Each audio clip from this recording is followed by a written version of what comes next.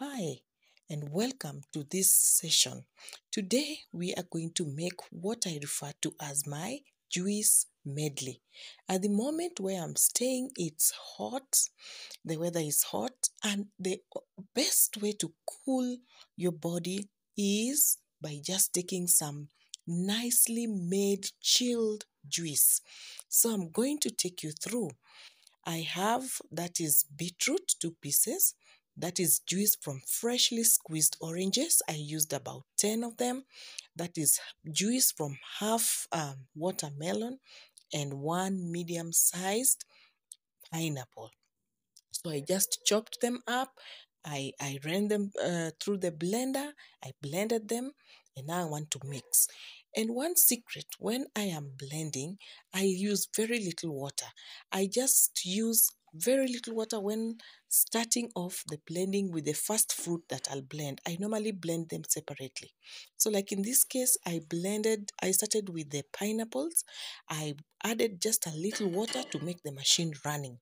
And when I extracted the, the, the liquid from these uh, pineapples, is what I used to blend um, the pine the, the watermelon sorry and also the beetroot.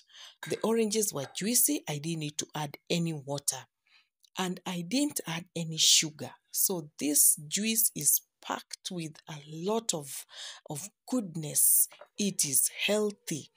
It is uh, uh, uh, it has calcium, it has vitamins, it has all good things, and it is suitable for everybody children, old people, young ones, anyone can enjoy it any time of the day.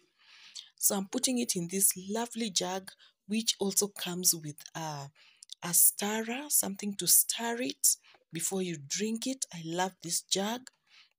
See, you can close it and stir it so that every time you're drinking, everything is mixed up well, just like that.